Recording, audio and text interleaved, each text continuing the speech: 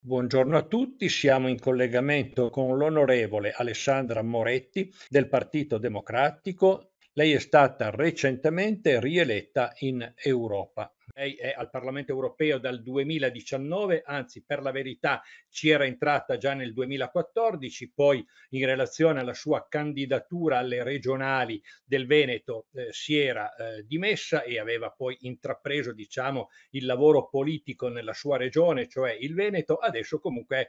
ritornata, anzi è stata confermata al Parlamento europeo. Eh, il suo impegno europeo è assolutamente fuori discussione perché lei dal 2019 abita con i suoi figli anche a Bruxelles, quindi in modo da poter essere eh, in loco a lavorare e non fare e non fare la spola fra la sua città, fra il suo territorio e, eh, il, eh, e la sede dove eh, l'Europa lavora, quindi Bruxelles. Io direi con lei potremmo toccare subito un primo problema che certamente sta molto a cuore a tutti coloro che lavorano eh, dentro il nostro sistema scolastico. Eh, si parla ovviamente di PNRR, ci sono alle volte anche polemiche su questo, eh, c'è chi dice che i soldi non si stanno spendendo bene, c'è chi dice che ci sono forti ritardi. Senta, lei che conosce il problema anche dall'interno e dal versante europeo,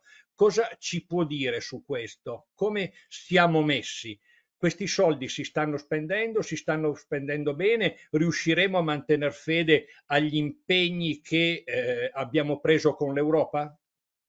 Allora, innanzitutto buongiorno e grazie per questa opportunità che mi date di confrontarmi con voi dalla, da Bruxelles, dove appunto lei ben ha ricordato, eh, io vivo ormai da cinque anni e mi appresto a, ad affrontare la prossima legislatura 2024-2029.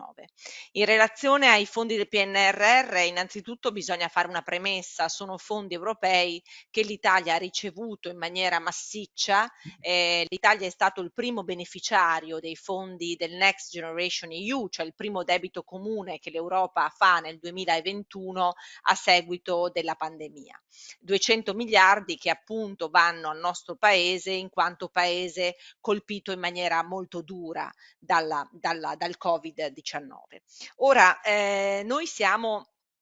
abbastanza preoccupati sul fatto che questi fondi che, come lei sa, devono essere spesi entro il 2026 vengano effettivamente messi eh, a terra attraverso delle, diciamo, dei progetti, attraverso dei cronoprogrammi molto precisi. L'Europa non stanzia fondi a pioggia, l'Europa ha stanziato dei fondi in base a delle linee di investimento che riguardano le infrastrutture, che riguardano la digitalizzazione, che riguardano la lotta al cambiamento climatico e riguardano anche la formazione e quindi anche un massiccio investimento pari circa un miliardo e mezzo proprio sulle materie STEM, per esempio, sull'investimento delle materie STEM. Ora ci sono dei ritardi importanti anche eh, sulla formazione la scuola, sono stati sbloccati ehm, diciamo a pochi mesi eh, alcune eh, diciamo alcuni miliardi proprio per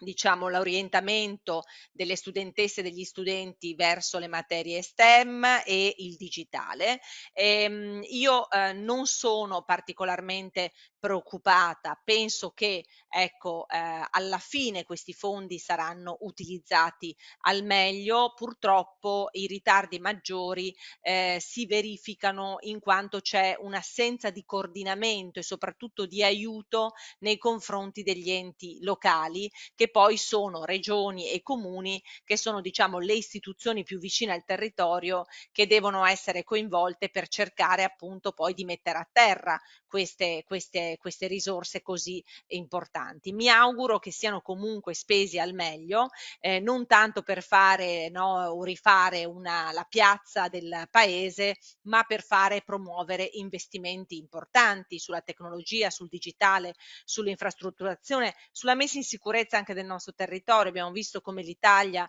eh, ogni anno viva delle tragedie dovute ad alluvioni, terremoti, cambiamenti climatici, cui effetti diciamo più ehm, ehm, eh, diciamo eh, estremi, no? Danneggiano eh, parte anche del, della produttività, della cultura, della, dell'agricoltura, insomma, ecco. Quindi io penso, insomma, che ci sarà, ecco, da parte nostra ovviamente c'è una, una vigilanza costante su questo, speriamo che il governo riesca ad aiutare gli enti locali, ecco, a realizzare al meglio e perché sono anche fondi così importanti che non possono essere trascurati, insomma. Senta, onorevole, l'Europa che cosa può fare per aiutare il nostro paese, ma soprattutto per aiutare il nostro sistema scolastico a uscire un po' dalle secche? Perché insomma non è che il nostro sistema scolastico proprio viva momenti particolarmente felici. Eh, quindi cosa può fare l'Europa? Ma guardi, l'Europa non ha una competenza diretta sui sistemi di istruzione e di formazione universitari. Eh, L'Europa, lei sa, eh, diciamo, agisce attraverso due, eh, diciamo, provvedimenti che sono i regolamenti e sono le direttive. I regolamenti sono degli atti, diciamo, legislativi direttamente applicabili agli Stati membri, mentre la direttiva eh, è un atto che richiede un uh, recepimento da parte degli Stati membri. Noi ovviamente possiamo dare attraverso le direttive anche in materia scolastica dei suggerimenti, possiamo dare degli orientamenti, possiamo promuovere delle linee di indirizzo ehm, e quindi questo è molto importante, oppure possiamo promuovere anche forti investimenti, per esempio ci sono dei canali di investimenti diretti verso la cultura e verso la formazione che sono molto utilizzati anche dagli istituti scolastici per promuovere per esempio dei corsi di aggiornamento sia per i docenti ma anche per delle esperienze, oltre ovviamente al progetto Erasmus che è diciamo, il progetto più grande, più imponente anche da un punto di vista delle risorse che l'Europa mette in campo per favorire la cultura europea da parte dei nostri, dei nostri ragazzi. Poi lei sa bene che come deputati europei noi siamo a disposizione degli istituti scolastici e dei, dei dirigenti scolastici per promuovere all'interno delle scuole anche delle visite, quindi non so, eh, fa, le faccio un esempio, io spesso vado eh, nelle, nelle, scuole a partire dalla terza superiore alla quinta per far conoscere agli studenti le istituzioni europee e poi per invitare le classi degli studenti a venire in visita al Parlamento europeo a Bruxelles o a Strasburgo proprio per appassionare i giovani e far conoscere loro quanto l'Europa può fare, diciamo, e sta facendo, perché vede, l'Europa condiziona eh, l'80% delle scelte che i governi nazionali promuovono, cioè tutte le decisioni che vengono prese a livello locale sono direttamente collegate a scelte che l'Europa ha preso. E eh, diciamo la gran parte eh, dei, eh, delle realizzazioni con cui gli enti locali, le regioni eh, promuovono ristrutturazioni di infrastrutture, realizzazioni realizzazioni di scuole, eccetera, ehm, hanno derivazione europea, cioè sono i fondi europei che sostengono anche questo tipo di iniziativa. Quindi per noi è fondamentale che i giovani abbiano la consapevolezza di quanto l'Europa sta facendo. Pensate a quanto l'Europa ha fatto per uscire dal Covid, per eh, promuovere la distribuzione dei vaccini, per vaccinare più dell'80% dei cittadini europei, ma per distribuire miliardi di dosi anche ai paesi sottosviluppati sviluppati. Ecco, io credo che sia molto importante far crescere la cultura nei ragazzi anche per sconfiggere quelle forme di astensionismo dal voto che purtroppo eh, diciamo, eh, determinano quella, quello scollamento tra politica e poi cittadinanza. Senta, onorevole, eh, a questo proposito io le sottopongo un problema eh, perché vorrei capire se su questo eh, l'Europa può fare qualcosa proprio per stimolare anche la eh, produzione normativa eh, nel nostro paese. Lei sa che uno dei temi che eh, negli ultimi mesi è stato molto dibattuto nelle nostre scuole è stato quello della presenza di eh, ragazzi stranieri. Eh, c'è chi parla di mettere un tetto, anzi per la verità un tetto c'è già perché già da qualche anno eh, un, ci sono delle norme ministeriali che prevedono che non si possa superare il 30% di alunni stranieri in eh, ciascuna classe, eh, c'è chi dice che questo tetto va aumentato, che va diminuito, insomma il problema è molto, eh, molto ampio e molto complesso soprattutto perché eh, ci sono realtà in cui eh, i ragazzi stranieri presenti nella città sono già comunque molto al di sopra di questi tetti del 30%. Ci sono città in cui eh, i ragazzi stranieri sono il 70-80% della, della popolazione. Eh, quindi il problema è davvero molto complicato. Lei come la vede? Che cosa pensa che si possa fare? Cosa si sta facendo negli altri paesi e cosa l'Europa potrebbe fare per aiutarci a uscire da questa situazione? Beh, innanzitutto l'Europa promuove i valori della multiculturalità e ovviamente l'Europa promuove eh, i valori dell'integrazione eh, culturale tra popoli e tra culture diverse. È chiaro che eh, ci sono diverse esperienze nei diversi paesi europei, ci sono paesi europei più evoluti dove l'integrazione straniera si è avviata ormai da eh, decenni e decenni e quindi è un'evoluzione che si è maturata e radicata nelle, nelle società, mentre in Italia pare essere ancora un problema perché una parte della politica strilla, urla contro, diciamo, l'invasione, quindi di fatto promuove l'idea eh, di, una, di una divisione, di una netta separazione tra chi nasce in Italia ed è italiano e chi nasce magari in Italia da genitori stranieri e che non ha questo diritto ad essere, diciamo, eh, riconosciuto italiano. Ehm,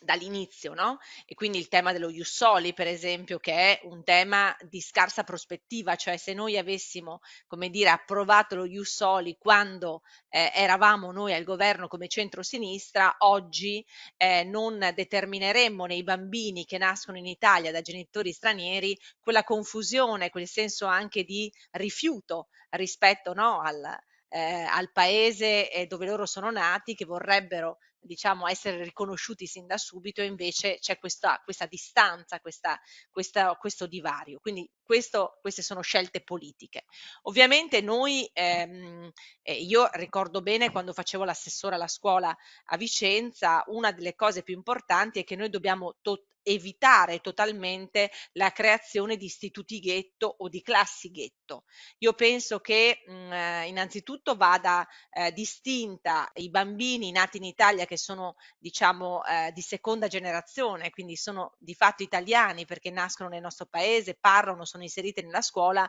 e i bambini invece che provengono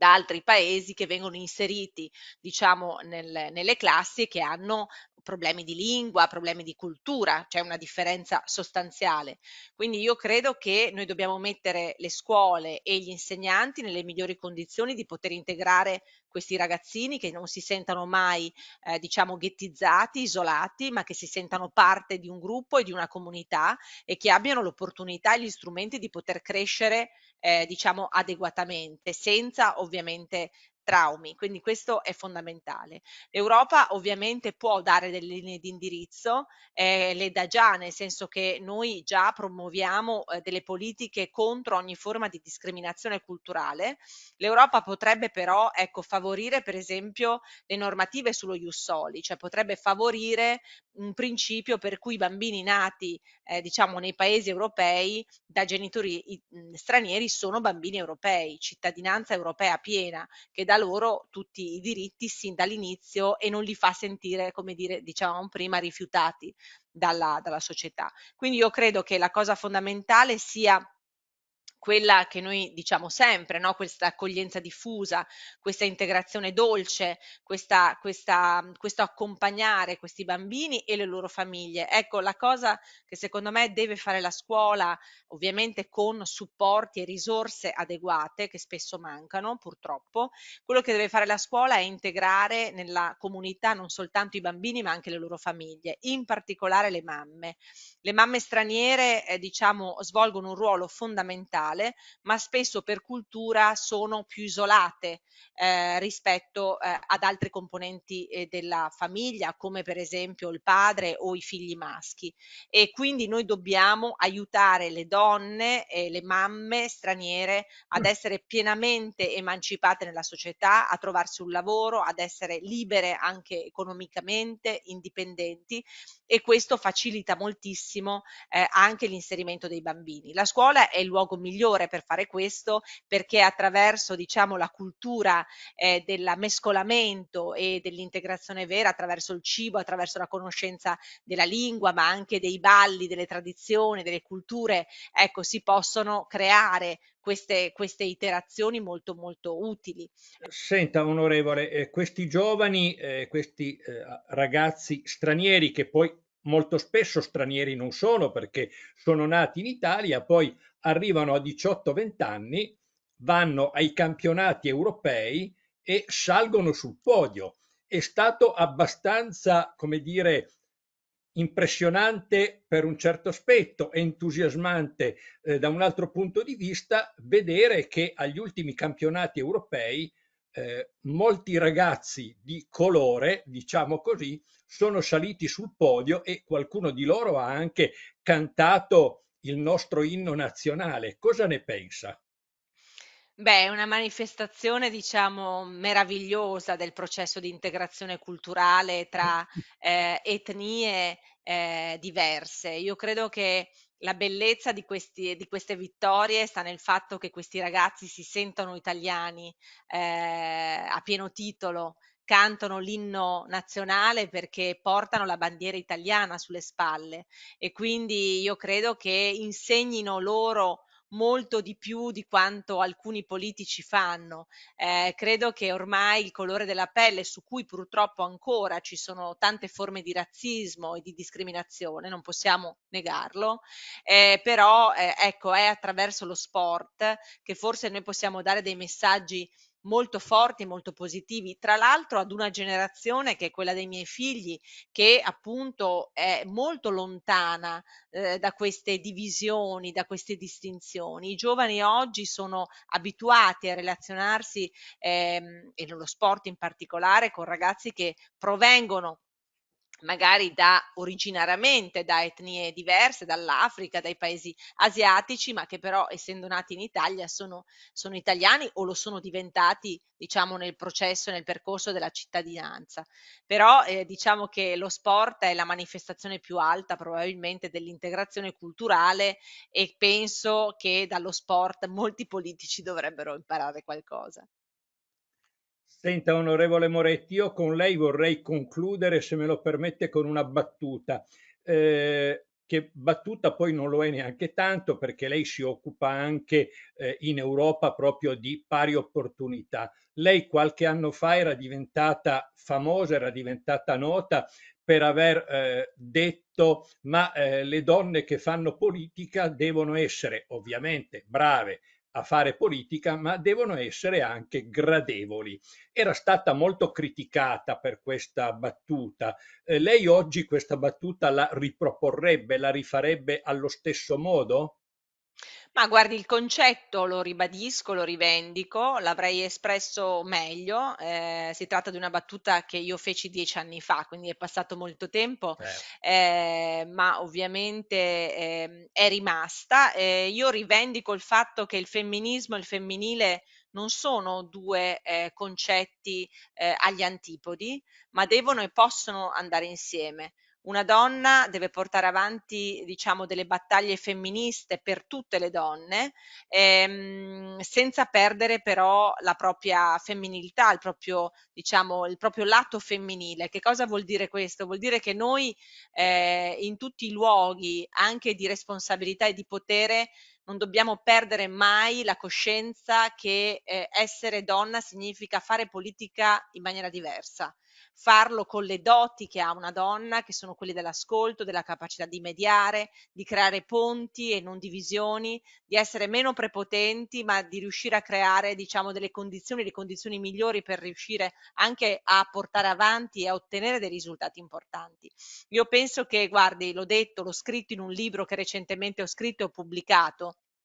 l'ho scritto eh, dicendo che eh, ci sono 171 conflitti nel mondo, due ci angosciano particolarmente che sono il conflitto medio orientale e quello ucraino. Io sono convinta che se ehm, alla testa del mondo e dei popoli ci fossero più donne rispetto agli uomini, probabilmente ci sarebbero anche meno guerre, perché le donne guardano e sanno guardare al futuro, eh, che sono i figli, che sono i nipoti, che sono le nuove generazioni. E quindi io penso che dobbiamo sempre rivendicare e ricordarci chi siamo eh, con un passaggio di testimonianza tra chi è venuta prima di noi e noi e quelle che verranno dopo. Io eh, quando ero alla Camera dei Deputati portai avanti il provvedimento, la legge sul divorzio breve. Ecco, lo dico sempre, non avrei potuto portare avanti quella legge sul divorzio breve se prima di me non ci fossero state le donne che affermarono il diritto al divorzio. Ecco, io credo che la nostra forza sia quella di essere femministe, oggi è un valore che dobbiamo,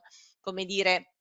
rivendicare perché sono tante le battaglie che dobbiamo portare avanti per tutte e nello stesso tempo farlo però col nostro modo, col nostro stile che è quello appunto di essere, di essere donne, quindi di imporlo in maniera diversa rispetto agli uomini.